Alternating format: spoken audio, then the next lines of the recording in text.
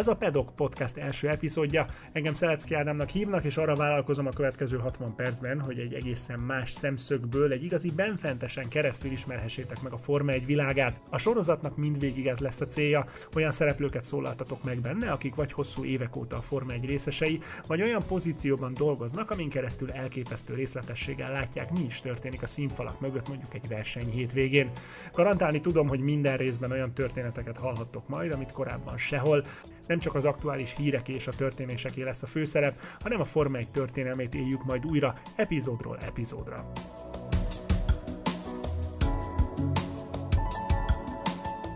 Képzeljétek el, hogy apa hazajön a munkából, leül a családdal és elmeséli a napját.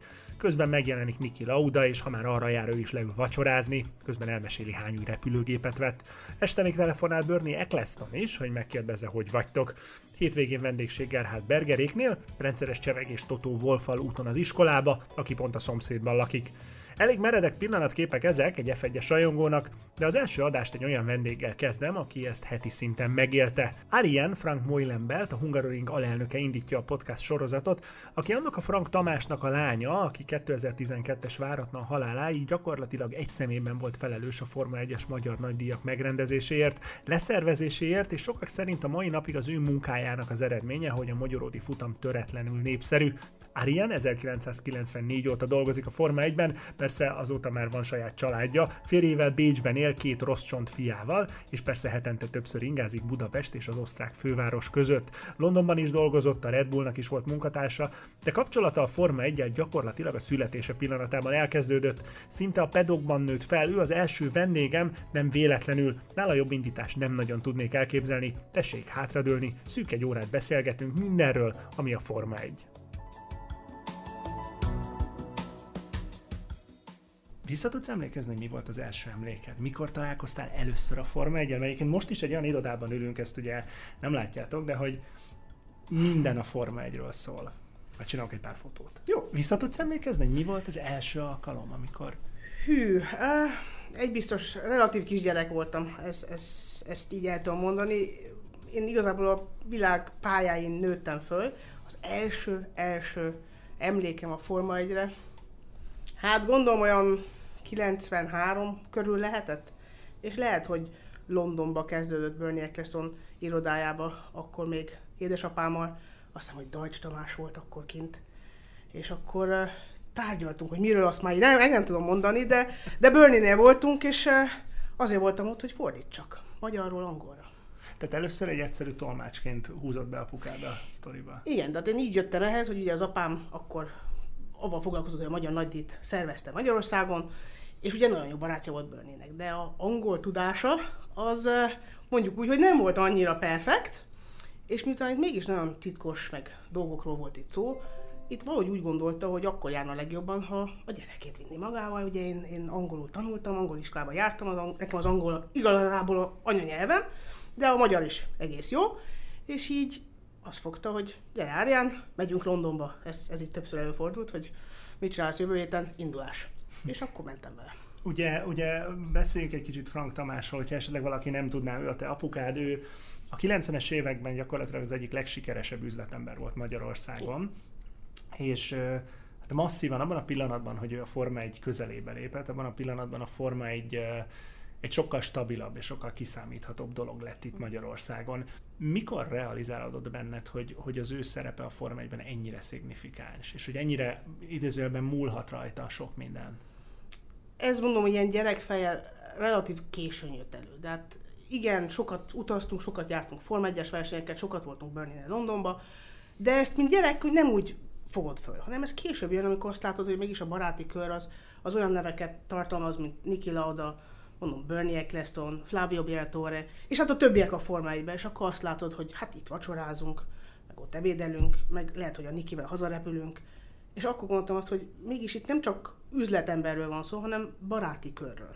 És ez már biztos, hogy később volt. Én akkor már biztos, hogy felnőtt voltam, 20 éves körül. Tehát ez, ez később jött. Addig ez úgy, ez volt az életünk. Tehát ez úgy, hogy nem érezted, hanem egyszerűen ebben nőttünk föl. Ez volt a mindennapunk.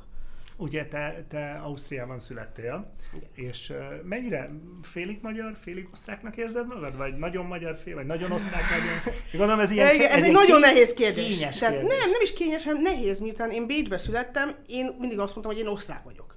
Az az útlevelem, Bécsbe születtem, viszont nekünk az egész társaságunk, meg az egész baráti körünk, nem csak ugye a Forma 1, hanem így is, Bécsben is magyarok. Tehát mi azért nagyon magyaros életet élünk Bécsbe, Ö, csak is magyar kajákat eszünk, magyarul beszélünk, annyira is, hogy mai napig a gyerekeim is magyarul beszélnek. Tehát nekem ez nagyon fontos volt. És nekünk nagy a kötöttségünk Magyarországhoz. Még mindig persze itt van egy nagy része a családnak, nagyanyám itt él, unokatestvérek és így tovább, egész nagy része a családnak, sokat jártunk Balatonon is, gyerekkoromban is, de hát mondom, hogy igazából én mindig azt mondom, hogy osztrák vagyok, de a, a szívem az magyar. Oké, okay, picit a gyerekkorodról mesélj nekem. Milyen, mi, milyen volt, mi, mi szerettél volna lenni, amikor kicsi voltál? Ar, arra készültél, hogy ilyen szinten a szórakoztató iparban fogsz dolgozni? Mert ugye körülnézek itt az irodában, és azért mindenképp fogunk beszélni arról a Michael Jacksonos voltról ott a sarokban, de hogy, hogy eh, azt gondoltad, hogy apukát nyomdokaiban lépsz Nem, nem, nem. Sőt, volt egy idő, ahol azt mondom, hogy direkt mást akartam csinálni. Tehát én el, 18 éves koromban befejeztem az iskolát Bécsbe, és egy volt fontos, elmenni. Elmenni otthonról, elmenni messzire, és valahogy sa- saját életet építeni. Ez nekem abszolút fontos volt, mert hogy pontosan soha nem akartam azt hallgatni, hogy apád lánya vagy.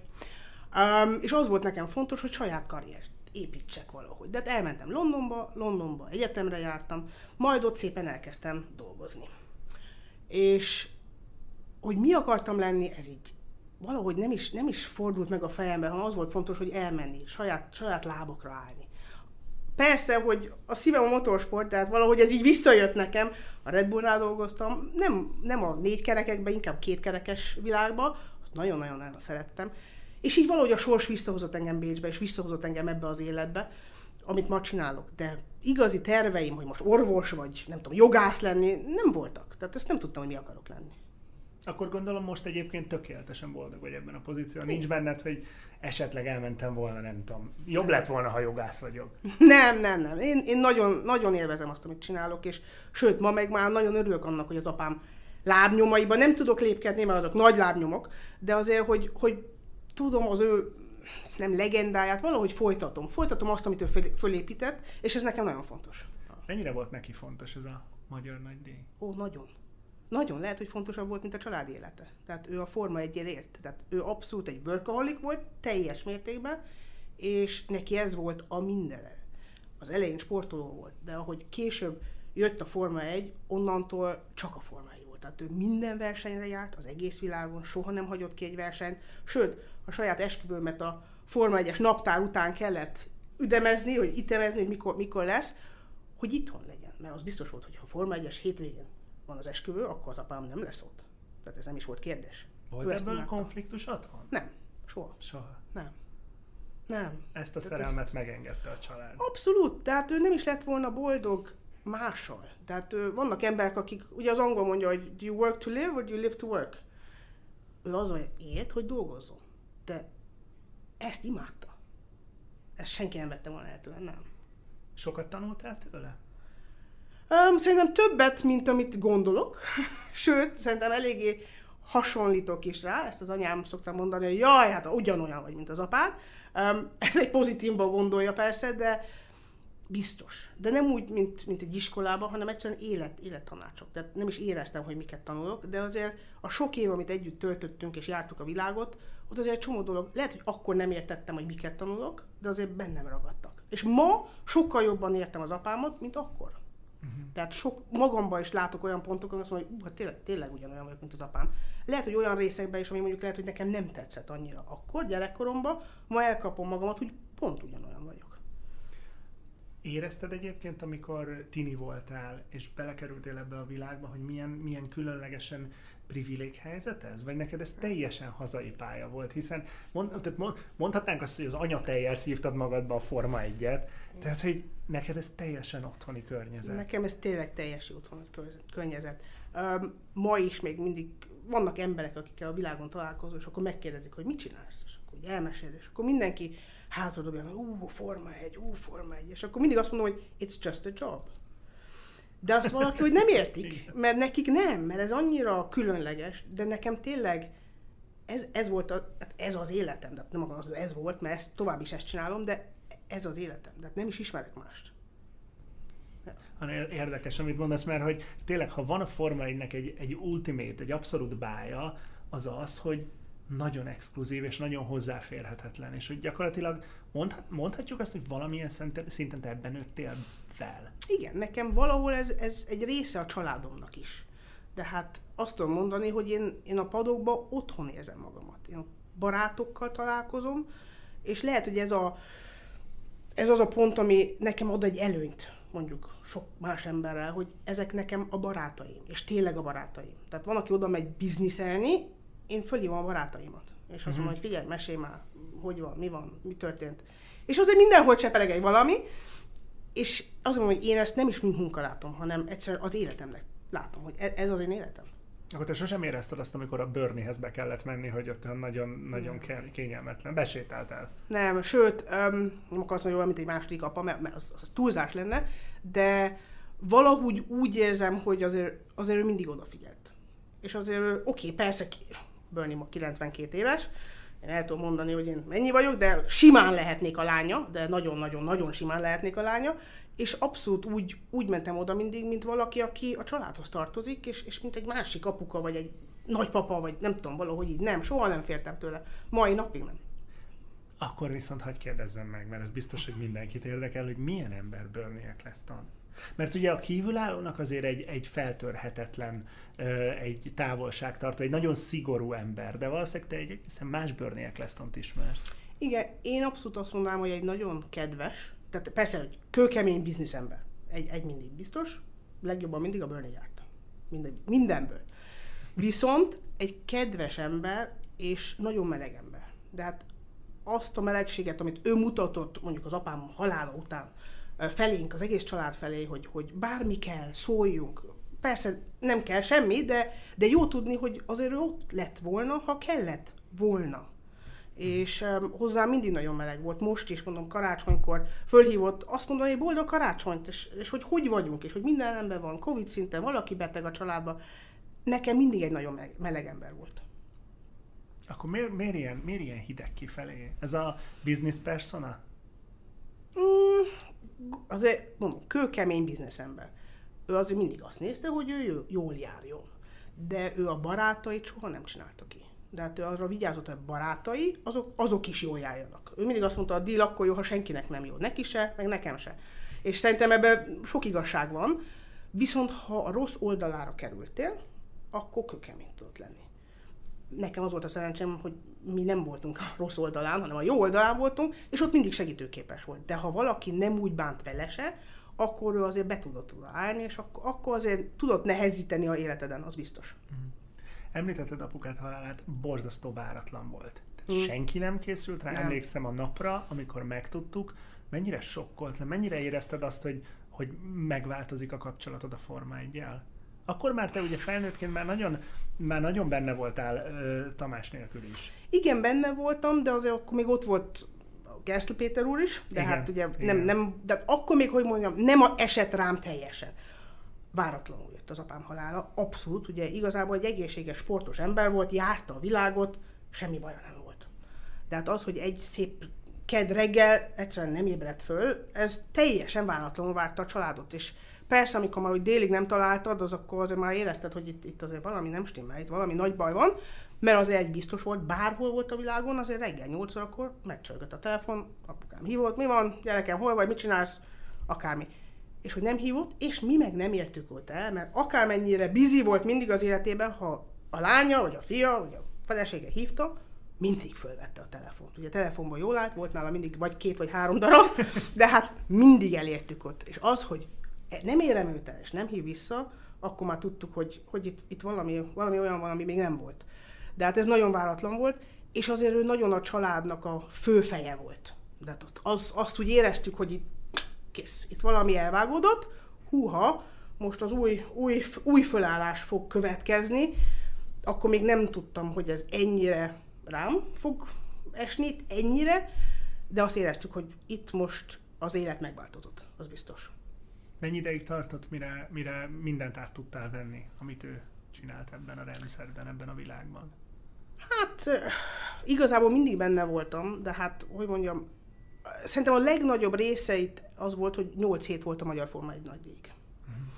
De hát volt az a pont, amikor azt mondtad, hogy huha, igen, mellette dolgoztam, semmi gond, de voltak olyan részei, mondjuk, mondjuk azt, hogy a magyar politika, ahol úgy nem voltam benne. Tehát azt ő intézte, és akkor segítettem neki, persze, hozd, vidd, csináld ezt, hív föl, persze. akármi, de hív föl, kit hívjak föl?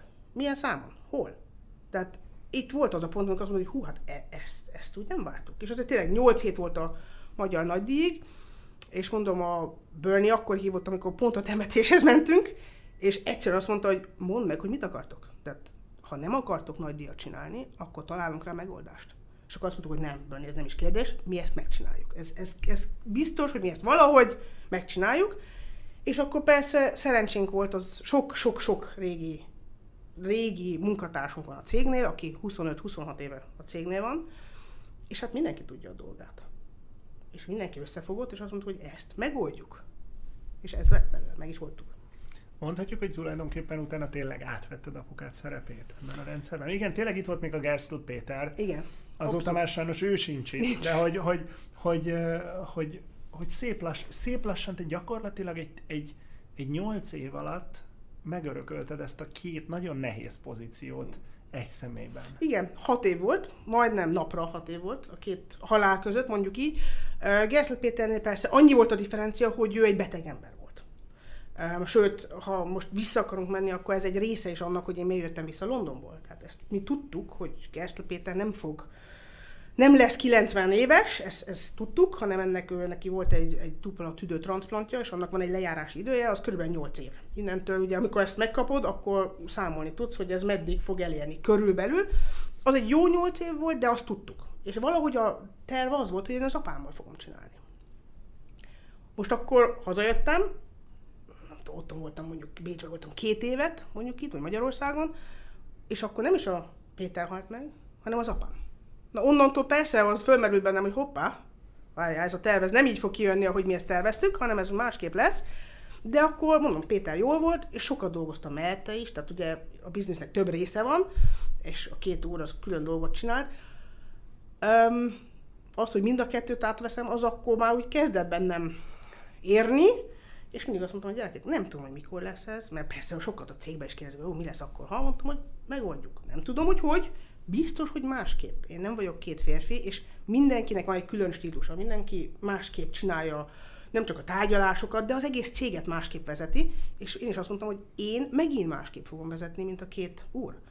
Ebbe biztos voltam. És mindig azt mondom, hogy cross that bridge when you get there. Meg fogjuk oldani. És meg is oldottuk. És majd állunk négy évvel később, és azt tudom mondani, hogy egész jól nézünk ki. Azok kedvéért, akik esetleg nincsenek éppen, ugye Gerszl Péter és Frank Tamás, ők ketten voltak azok az emberek, akik gyakorlatilag a, a magyar motorsportban a, a rendezvények fölött bábáskodtak. Nek, ők voltak az első perctől kezdve azok, akik ezt az egészet egybe tartották, és ugye tényleg, amikor Péter is tovább állt, akkor, akkor gyakorlatilag a két alappillére dölt ki hat év alatt ennek az egésznek. Igen. Azóta eltelt négy év? most már most már teljesen nyugodt vagy, és úgy érzed, vagy még, vagy még mindig ülsz itt néha ebben az irodában, és gondolkodsz azon, hogy vajon a Péter mit csinált, vajon apa hogy csinálna Jaj, ezt? hát ugye én ide-oda ingázok Bécs és Budapest között, ezekben a szép kocsi utakban, ami 6 óra mondjuk ide-oda, ráérek gondolkozni. És nagyon sokat gondolkozok azon, hogy vagyon mit csináltak volna? Vagy vagyon mit szóltak volna ehhez a döntéshez, és ezt jól látták volna, vagy azt mondták volna, hogy ú, Árján, ebben még lett volna valami, vagy... Tehát ez, ez a napi életem, ezen gondolkozom, hogy vagyon a két férfi mit szólt volna ehhez? Persze azért azóta a világ megváltozott. De hát nem tudom azt mondani, hogy igen, csak úgy folytattuk, ahogy volt, hanem abszolút új kihívások jöttek a világba, és ezeket teljes mértékben egyedül kellett megoldanom. De igen, nagyon sok időt töltök abban, hogy azon gondolkozok, hogy hogy vagyon mit szólnának ahhoz, vagyon büszkék lennék-e, vagy meg lennének-e ők avval elégedve, hogy én ezt hogy csinálom. Igen, sokat. Én ugye tudom, hogy miről beszélsz, te is tudod, hogy miről beszélsz, de lehet, hogy a hallgatók azok most azon gondolkodnak, hogy mi a munka. miről beszél? Miből áll egy ilyen? Úgyhogy most azt mondom, hogy evezzünk egy kicsit idézőjelben vidámabb vizekre, mesélj arról, hogy amikor én elmegyek és kimegyek egy Form 1 nagydíjra, akkor nagyon jól érzem magam, ott vannak a versenyzők, beszélgetek velük, interjúkat csinálok, sőt, mi több, hogyha egy rajongó kimegy, megveszi a jegyet, ha elég gyors, megveszi a jegyet, kimegy, nagyon élvezi, és teljesen természetes, hogy nekünk van egy magyar nagydíjunk minden évben, 36 éve. Uh-huh. De ez nem lenne így. Tehát ez nagyon kemény meló minden évben. Mesélj egy kicsit arról, hogy mi a te feladatod valójában? Hát ez mondjuk azt, hogy ez avval, avval tehát nem is tudom, hogy hol kezdődik. Ez akarom, hogy ne kapj elő egy 400 soros listát, mert arra nincs időnk, de hogy... Én mindig azt mondom, hogy amikor elindul a verseny, mármint a Magyar Nagydíj, és a rajtrácson elmennek azok a kocsik, az az a pont, ahol azt mondom, hogy kicsit elengedek. Akkor azt mondom, hogy hú, és az pontosan tart a azt a 70 kört, ami a verseny, vagy most nem tudom pontosan, hogy mennyi, mert akkor az az én nyugalmam, ez a, ez a verseny, az az, amikor nekem nyugalmam van, hátra tudok dőlni az irodámba a Hungaroringen, és azt tudom mondani, hogy nézem a versenyt persze, de nyugalom van. És ez hét körig a verseny vége előttig tart, mert ott már megint föl kell állni, meg kell találni a pódium szereplőket, azokat elő kell készíteni, pódiumra vinni, és tovább. Persze, amikor a Forma ezt utána elkezd pakolni, és elhúz, ott mi már online vagyunk a következő egyadással. De hát nekünk már a következő év, még a idei év vége előtt elkezdődik. Az első pont az az online menni a jegyekkel a következő évre. És ez nagyon fontos, hogy ez megtörténjen még, ameddig a vendégek a Hungaroringen vannak. Uh-huh. Utána minden. Tehát arról kezdve, hogy megbeszélni, hogy mi a magyar nagydíjnak a dátuma a következő évben, erről tudom, hogy minden évben azt mondjuk, hogy majdnem ugyanaz a hétvége, de ebben nagyon sok munka van, hogy ez a hétvége a miénk maradjon. Ezt minden évben meg kell védeni, ezt minden évben meg kell újra tárgyalni a Liberty-vel, tehát mi leülünk, és akkor már elkezdjük beszélni, hogy hogy néz ki a naptár, nézni azt, hogy mondjuk konkurenc, konkurencia versenyekkel ne legyünk túl közel, hogy nehogy el kelljen osztozkodnunk a, a vevőkön. És aztán először van egy review, ahol elmondják, hogy ők mit láttak jól, mit láttak rosszul, mit kell jövőre javítani. Ez lehet ugye az FIA részéről, hogy azt mondják, hogy ide kell egy új magas kerítés, oda kell, mit tudom én, a körbeket meg kell uh-huh. változtatni. Rázóköveket. Rázóköveket. Uh, van ilyen minden évben? Minden Tehát évben. nincs olyan, hogy azt mondják, hogy féltek, minden tökéletes Jaj, volt, nem. köszönjük szépen. Soha. Soha. Azt be kell látnunk, hogy ugye mindenki nagyon szereti a pályánkat, de azért azt ezt szoktuk mondani, hogy kicsit retro.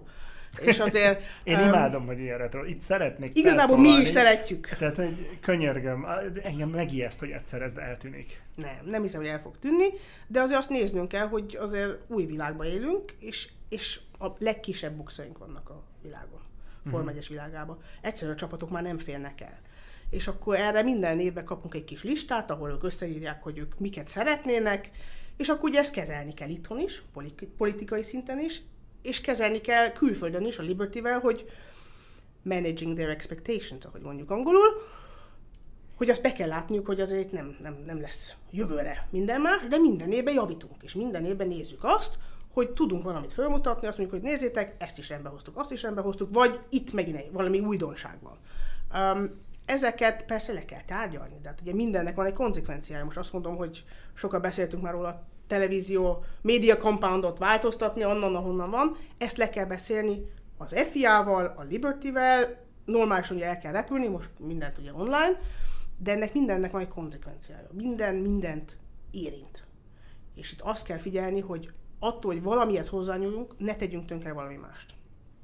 És ez szépen elvisz minket egy egész évben. De hát ugye a nézőtérrel kell gondolkodni, kell gondolkodni arról, hogy milyen kaja lesz a pályán, de hát milyen gasztronómiákat tudunk, tudunk hozni, a posztert kell csinálni, egy grafikákat, um, a reklámozást, meg kell beszélni a marketinget, tehát tényleg akkor már amikor így belejutunk, az, hogy látjuk, hogy hány ember lesz, mondjuk egy ilyen december-január környékén, elkezdjük szervezni azt, hogy hogy jutnak ki az emberek a pályára. Mire kell gondolkozni? Többen jönnek kocsival, több, tömegközlekedésről kell, kéne gondoskodni. Um, tényleg, ez egy, ez egy igazi évi munka. Egész évben. Mi az, ami, ami szerinted jelenleg a legnagyobb probléma a magyar pályával? Ami neked a legtöbb fejtörést okozza? És esetleg a Libertének is? Én azt mondanám, hogy lehet, hogy a nézőtérnek az elosztása. Tehát gyönyörűen mutat nálunk a televízióban a Super Gold, Gold 1, és ez a utolsó kanyar a ringnek, nekünk ez elég nagy gondot okoz, mert azt jelenti, hogy a 70%-a a nézőtérnek egy részén a pályán oszlik el. Uh-huh.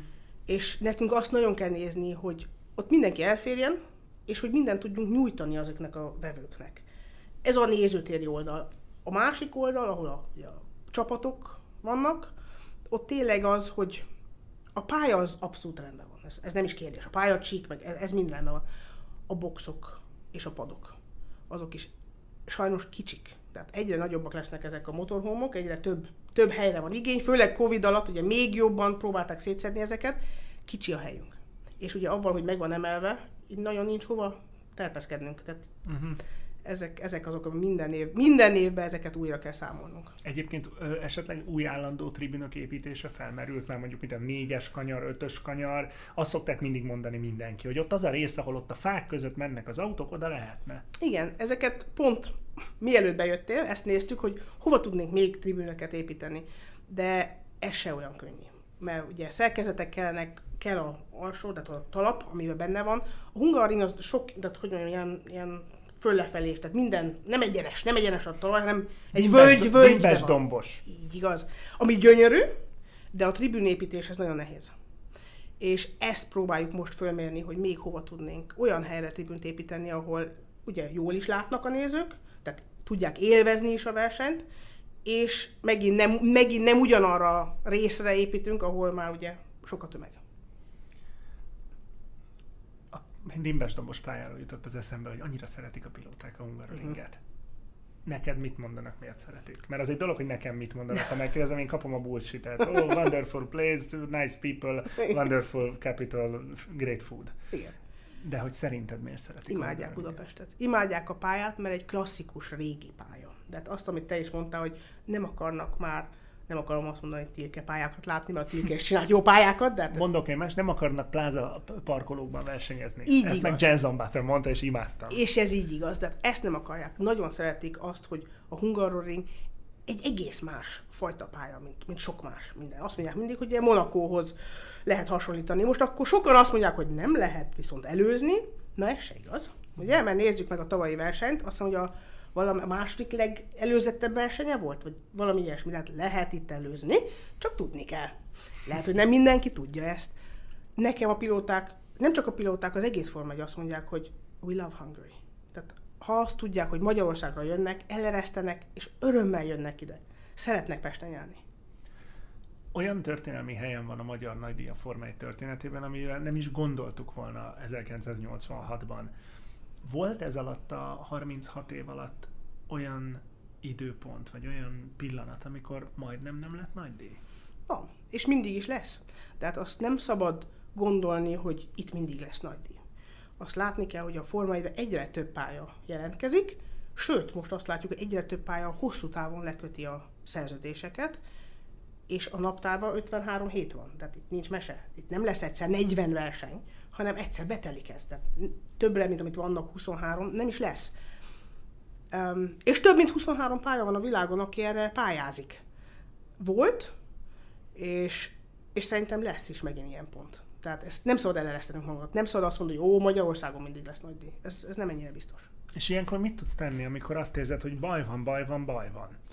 Nem tudom, hogy meg tudjuk. Ilyenkor mi történik? Tehát, hogy ilyenkor az a baj, hogy például valaki lecsap erre az időpontra? Vagy valaki több pénzt ajánl egy futamért? Ilyenkor, ilyenkor mi az, ami megakadályoz téged, hogy futamot rendez? Hát, Hiszen mennek a jegyek, szeretik a Forma 1 újra, hála Istennek. Ugye volt mögöttünk az utóbbi tíz évben azért volt egy, egy eléggé huplis időszak, volt. azt kell, hogy mondjam. Volt. Tehát ezt mindannyian tudjuk, de hogy most úgy tűnik kilábaltunk ebből. Mi tud megakadályozni téged abban, hogy legyen Bármi, magyar? de hát ugye ennek két oldala van. Egy, Magyarországnak kell akarnia nagy díjat, tehát, akar, tehát maga a politikának kell azt kimondania, hogy mi szeretnénk azt, hogy a magyar nagy díjt legyen. Ez, a, ez az első pont. Um, ez szerintem egyelőre abszolút így is van, és ez, ez akarat az itt van. És a másik oldalon a FOM-tól is az kell, a Libertyhez, hogy ők meg azt mondják, hogy akarunk Magyarországra jönni. Itt több ok van, hogy miért akarnak Magyarországra jönni. Van az, hogy, hogy tehát egy, próbálják nagyon tartani a tradicionális pályákat, um, de nem minden áron. Um, fontos nekik az, ami nekünk egy nagy-nagy-nagy előnyünk, az az, hogy itt van egy város. Tehát so, csomó olyan pálya van, ahol neked nem kell mondanod, beszéltünk és találkoztunk mi már olyan pályán, a világ akármelyik könnyén, ahol ugye semmi nincs. Szó szerint. Szó szerint semmi. Itt van egy gyönyörű város, ahol az emberek szívesen jönnek, ők is szívesen jönnek, és jól érzik magukat. Ez egy nagyon nagy előny. Ezen kívül nekik az is fontos, hogy ugye egy Európában legyenek, és hogy biznisz, tehát szponzorok, hol vannak, a magyar pálya az ugye kinyit itt nekik ezt a Eastern European részt. Tehát uh-huh. ugye mhm. van az orosz pálya, az, az a másik, de a Eastern part, az ugye a magyar, magyar pályán keresztül van nekik nyitva. Ez nekik szponzor szinten is nagyon fontos. Ezek vannak. Tehát van pénz, persze, van az, hogy a szponzorokat mi érdekel, és van a politika. És valahol ez a három rész körül dől el az, hogy mennyire fontos a Forma meg a magyar politikának a magyar nagydíj. Jól érzem, hogy korábban a Tamás időben ez könnyebb volt? Könnyebb volt? Könnyebb nem, volt? Nem Kér, tudom. Kérdezem, mert hogy nem tudom. azt a benyomást kelted bennem, hogy az ő idejében ez körülbelül úgy nézhetett ki, hogy Bernie, ugye lesz futam, igen, jó rendben. De, de, de sok minden megváltozott. Bernie sincs? Nincs. Bernie nincs. Liberty van. Um, a kapcsolat Chase Carey-vel azt tudom mondani, hogy ugyanolyan jó volt. Uh-huh. Új kapcsolat. Lehet, hogy nem egy hosszú, 20 éves barátság, de nagyon nyitottan állt mindig velem uh-huh. szembe. És ugye Stefano Domenikáról nincs sokat mondani, e, igen, mert itt megint visszanyúlunk ugye a Bernie érába. Persze, ilyen tekintetben nagyon szerencsések vagyunk. Igen, vele. így ez, ez, hogy mondjam, nekem szerencsésen jött, mert Stefanot még tényleg a Ferrari idejéből ismerjük jól, Ugyanitt ugye ne felejtsük el, amikor Massának volt itt a nagy balesete Magyarországon, akkor ugye Stefano volt a csapatfőnök. Um, de hát ott volt tényleg egy olyan időszak, ahol két hétig kórházba táncoltunk Filippe családjával, persze Stefanoval is, és néztük azt, hogy a Massát hogy tudjuk megint össze, összeszedni. Um, de hát itt is van egy régi baráti kapcsolat, ami biztos, hogy megint segít. Tehát nem tudom azt mondani, hogy nehezebb volt, ez mindig egy ilyen tánc. Uh-huh. Um, de szerintem a táncnak mindig jó a vége. És ebben a táncban azért jól érzem, hogy azért nagyon masszívan benne vannak ezek a személyes kapcsolatok. Tehát, hogy elmondtad, hogy szponzor, helyszín, stb. stb., de ez mit sem ér. Semmit. Hogyha nem vacsoráztál 15 évvel ezelőtt egyszer azzal a főnökkel egy, nem tudom, egy jó ez halászlevet valahol. Biztos, hogy segít a történeten, de hát ezt lehet, hogy el lehet intézni nagyon-nagyon sok pénzzel is, anélkül, hogy vacsoráztál, vagy hogy ismerted, de biztos, hogy nekem ebbe könnyebb az életem, avval, hogy tényleg föl tudom hívni, telefonon, és azt tudom mondani, hogy hi Stefano, üljünk már le, és beszéljünk. és van, hogy sokszor azt mondja, hogy Ariane, we do what you want. Uh-huh. Oké, okay. mivel megígértem, egy pillanatra visszaugrunk az időbe Michael Jacksonhoz, mert most az a, az a blokk következik, amikor azt fogom megkérdezni tőled, és arról fogsz nekünk mesélni, hogy melyik versenyző milyen ember, és melyik csapatvezető milyen ember, mert te nagyon különlegesen ismered őket, de muszáj vagyok megkérdezni, mit keres ott? Egy fényképpen ott állsz Michael Jackson mellett, Mit csináltál te Michael Jacksonnal? Na ez is egy ilyen, apám egy nagyon kreatív ember volt, és voltak olyan ötletei, hogy akkor koncertet szeretne rendezni, nem csak Forma 1 Vagy Forma 1 mellett koncertet is szeretne rendezni, és akkor ilyenbe is belevágtunk, mint, mint család. család. Családi vállalkozás családi... egy Michael Jackson koncert. Nem, kettő. Ja, kettő Michael kettő, Jackson koncert. És, és akkor ó, most az évet már ne, megint... 96. 96-ban mi csináltuk akkor a History Tournak a nyitó koncertjét, ugye? Második volt, az a második koncert volt Budapesten. Így van. És Bécsbe azt hiszem kilenc hónappal rá ott is mit csináltuk, és mit, mi um, voltunk a, ennek a promótere. Persze ennek egy része is volt, hogy mint mindig, apám behúzott ebbe, és azt mondta, hogy édes kislányom, igen, igen, iskolába jár, de azért ebbe, ebbe is van egy kis munka, mert hogy kéne a Heal the World-re, nem tudom már mennyi, mondjuk azt, hogy 26 nemzetközi gyerek, aki nemzetközi ruhába ott énekel és Heal the World, Na, ez a te projektod, szedd össze őket. Na, és ebbe segítettem akkor nekik. És jó volt? Élvezted, vagy, vagy, vagy ott úgy volt vele, hogy már megint dolgozni kell apának? Élveztem, de volt ebben egy olyan pillanat, amit nem vártam, és amire nem voltam fölkészülve. Tehát ez arról szólt, hogy a gyerekeket össze kell szedni, ezeket be kell tanítani, hogy mi lesz majd ezen a számon az ő dolguk, de arról szó nem volt, hogy nekem is kell ebbe táncolnom, énekelnem. Színpadon, ezt, ezt nem beszéltük meg. nincsen fotók irakva. Nem. Ez nagyon, ez nálunk a családi archíviumban nagyon messzire le van, le van téve, hogy senki ezt meg ne találja.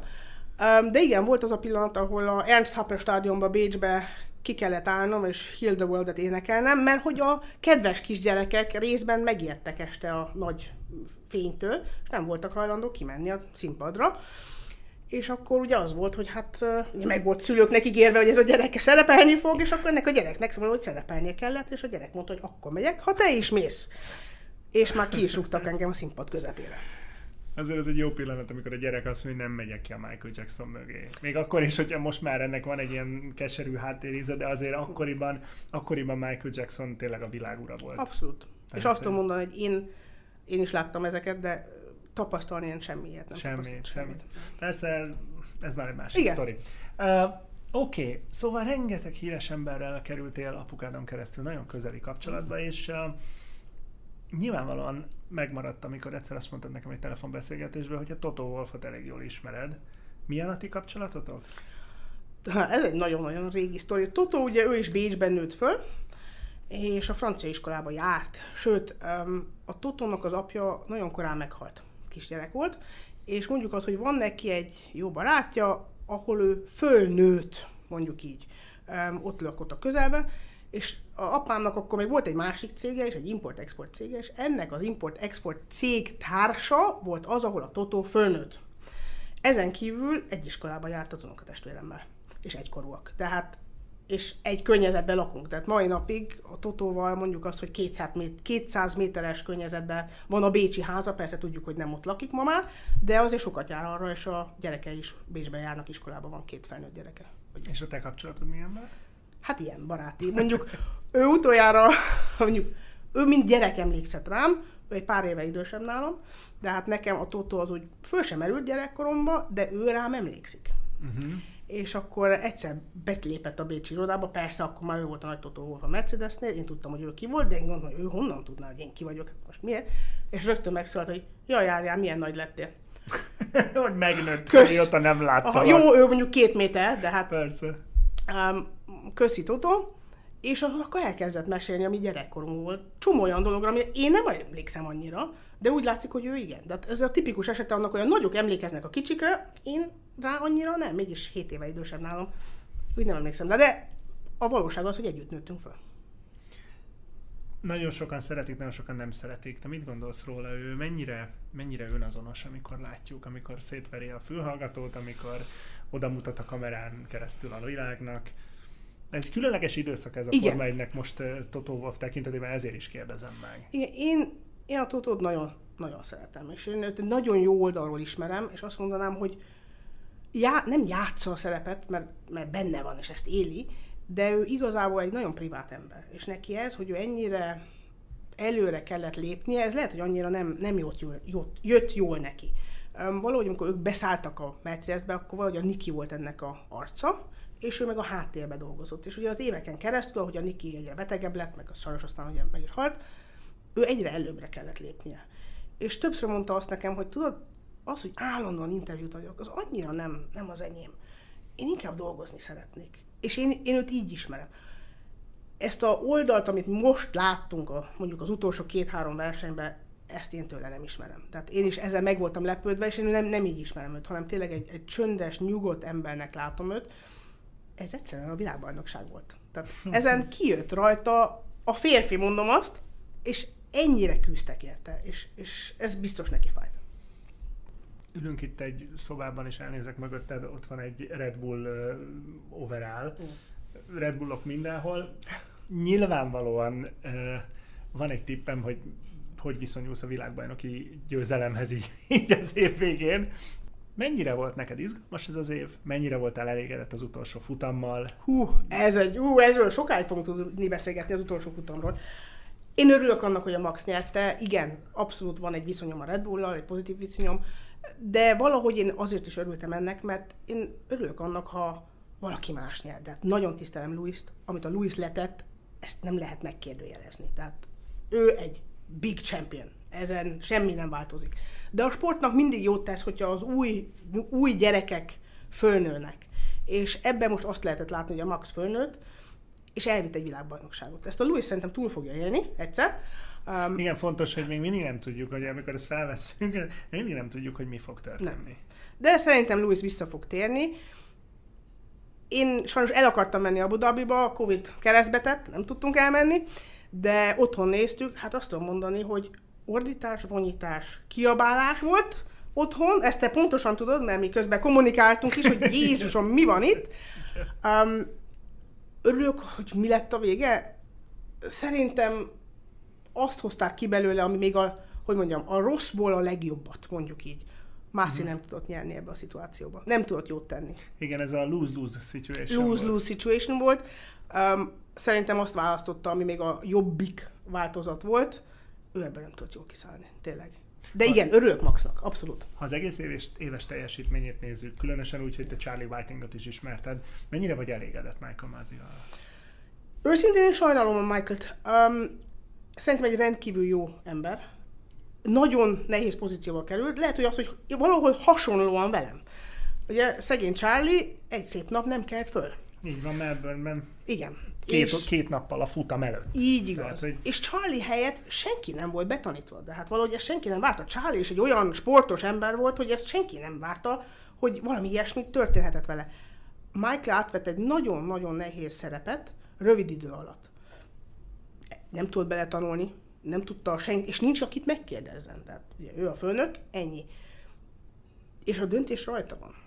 De hát én tisztelem Michael-t, és én remélem, hogy ő marad is. Nem, én nem tudnék mást, aki jobban tudná csinálni. Uh-huh.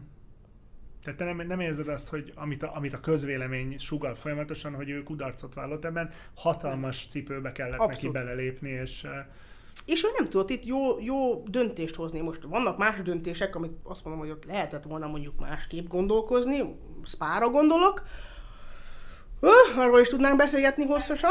Az, az, az egy rémálom lehet egy, egy szervezőnek, egy promóternek, az borzasztó. Hát az a worst case scenario. Igen, hát, a legrosszabb verzió. Legrosszabb verzió. Én akkor írtam is a Spy promóternak, hogy a szívem fáj értük, őszintén. Egy Covid év után, ahol ugye egy zárt kapuk mögötti versenyt rendeztek, végre valami, és a valami a semmi. Igen. És akkor oda kiállni, 60-80 ezer néző elé, és azt mondani, hogy bocsi, de két kör a safety car mögött, ez volt.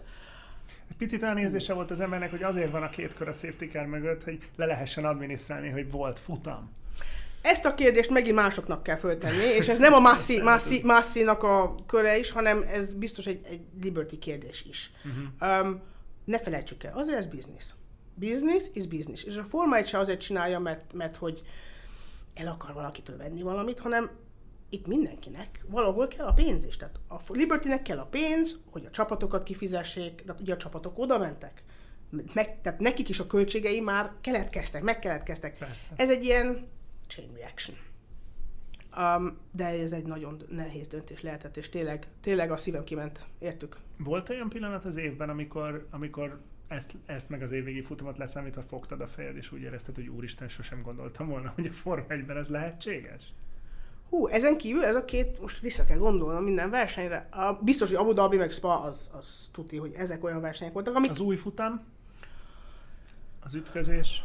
Minden, de hát de a Forma már mindent látott, de szerintem maradjunk annyiba, egy nagyon jó szezon volt, nagyon izgalmas volt ez a szezon, de volt már más izgalmas szezon is, tehát máshol is volt már, ahol két pilóta, sőt egy csapat, csapattársok is összementek, mondom azt, hogy Nico meg Lewis, ugye, de láttunk már ilyet, és remélem, hogy látunk is még ilyet, mert ettől izgalmas a Forma 1. Ez az, amit mi látni akarunk. Te mennyire vagy egyébként rajongó? Hát hiszen ebben nőttél bele, hogy rajonganál valamiért, ami karnyújtásnyira van tőled.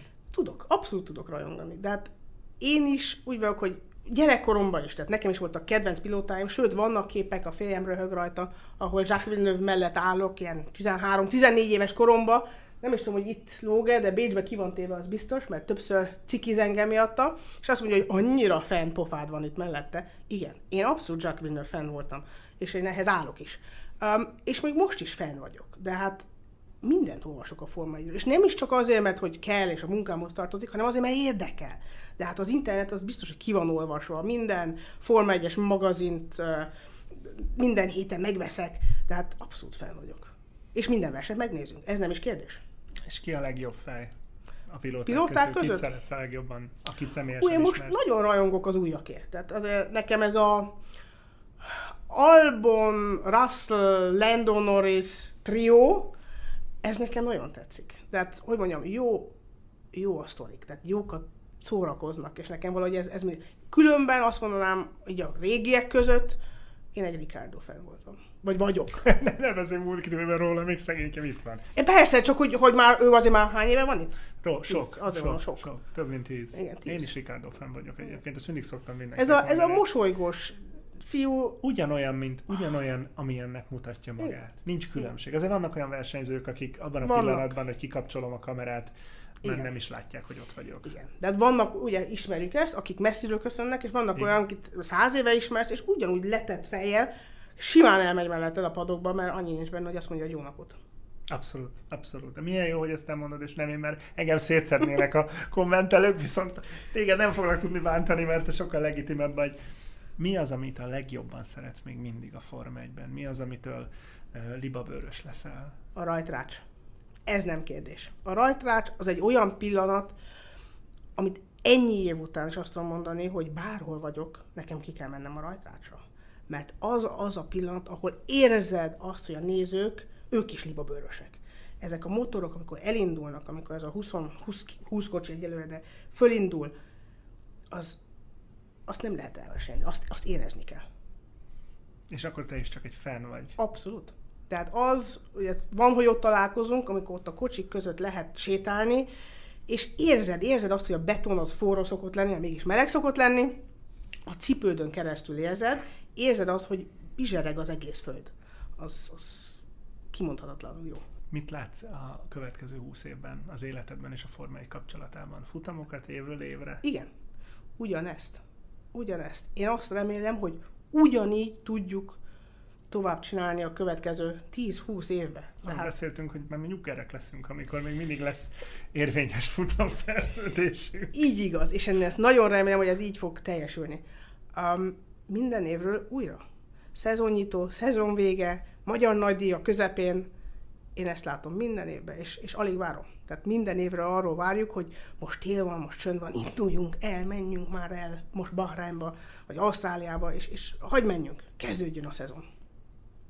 Nem, nem érzed azt, a, és tényleg lassan befejezzük a beszélgetést, hogy, hogy esetleg tovább léphetnél közelebb a Forma 1-hez egy magasabb pozícióba, ami, aminek nyilván van egy olyan ára, hogy, hogy eltávolodsz Magyarországtól, de esetleg. Um, van, hogy amikor a Liberty-ben beszélgettek, akkor azt mondom, hogy egyszer a másik oldalon ülni, az érdekes lenne. Csak azért, mert annyi év óta csinálom ezeket a szerződéseket, kívülről ismerem, tudom, hogy mik azok a pontok, amit nekem kell nyomnom. De ugyanúgy tudom, hogy mik azok a pontok, amik a másik oldalon a szerződésnél is érdekesek. Tehát az érdekelne engem. De a, ennek, ennek is vannak konzekvenciái. Én nagyon szeretem az életemet. Én nagyon szeretem azt, hogy ingázni tudok, meg hogy a saját főnököm vagyok. Nem tudom, hogy el tudnám megképzelni azt, hogy elmennék dolgozni másnak. Apuka büszke Arira? Gondolom, hogy igen. Remélem, hogy igen, de gondolom, hogy igen. Nem hiszem, hogy ezt gondolta, hogy valahogy ez fog következni, hogy én ezt így egyedül fogom csinálni. Ezt nem hiszem, hogy ő gondolta volna. De szerintem, ha, ha ma lenéz, vagy mondjuk ezt, akkor, akkor azt mondaná, hogy szerintem rendben van. Igen.